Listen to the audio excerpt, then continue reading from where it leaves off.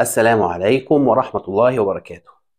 كان لمعقل ابن يسار أخت زوجها لابن عم ظلت عنده فترة ثم طلقها تطليقة ولم يراجعها في فترة العدة وانقضت عدتها ثم عاد يخطبها مرة أخرى فقال له معقل أكرمتك وزوجتك وآثرتك فطلقتها ثم جئت لتخطبها والله لا ترجع إليك أبدا.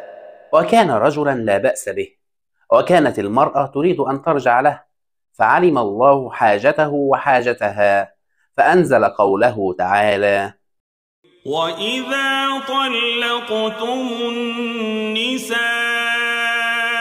فبلغن أجلهن فلا تعضلوهن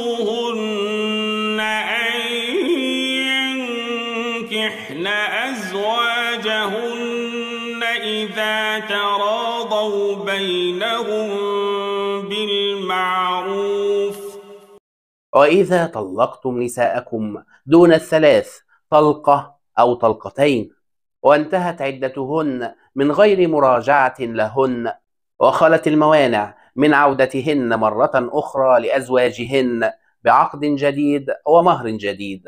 فلا تضيقوا أيها الأولياء عليهن بمنعهن من العودة مرة أخرى إلى أزواجهن. إذا أردنا العودة وحدث التراضي شرعا وعرفا. فالله عز وجل أرحم بتلك المرأة المسكينة منكم أيها الأولياء وأعلم بالمصالح والمفاسد.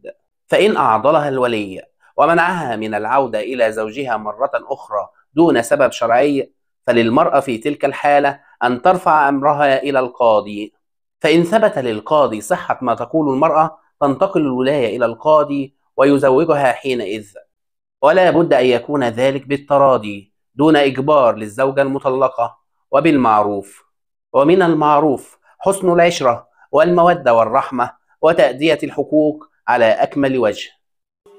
ذلك يوعظ به من كان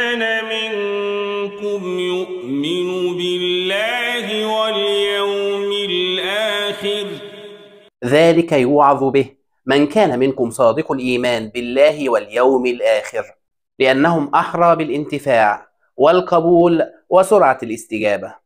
فلما سمع معقل ذلك سارع وقال سمع لربي وطاعة الآن أفعل يا رسول الله.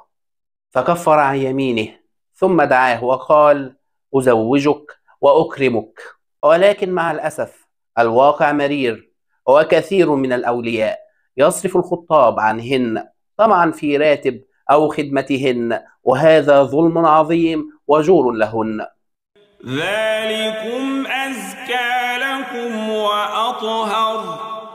ذلكم أكثر نماء وأعظم نفعا وثوابا لكم وأطهر لأعراضكم من ارتكاب ما نهى الله عنه. وأطهر لقلوبكم وأطهر لشرفكم وأطهر لكم من كل النواحي. والله يعلم وأنتم لا تعلمون. والله يعلم ما فيه صلاحكم ونفعكم وأنتم لا تعلمون. كان لرجل يعيش في قرية حصان يحبه كثيرا فهرب الحصان ولم يرجع. فجاء أهل القرية يعزونه ويواسونه في ذاك الحصان فقال لهم الله أعلم بالخير وأعلم بالشر. وبعد عدة أيام عاد الحصان من الغابة يقود قطيع من الأحصنة البرية. فجاء أهل القرية يهنئونه فقال لهم أنتم لا تعلمون أين الخير وأين الشر. وكان للرجل ابن وحيد خرج ذات مرة ليراود حصانا فسقط وكسرت قدماه. فجاء أهل القرية يواسونه فقال لهم أنتم لا تعلمون أين الخير وأين الشر. ثم هجم الأعداء على البلاد فأمر الحاكم بجمع الشباب لقتال الأعداء فأخذوا الجميع وتركوا ابن الرجل فجاء أهل القرية يهنئونه فقال لهم والله يعلم وأنتم لا تعلمون. فلله عز وجل العلم المطلق والحكمة البالغة في كل أمر وفي كل نهي. جزاكم الله خيرا. وإذا طلقتم النساء فبلغن أجلهن فلا تعضلوهن أن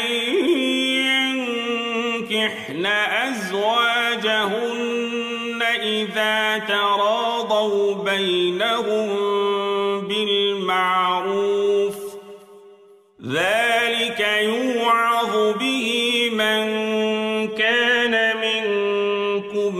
يؤمن بالله واليوم الآخر.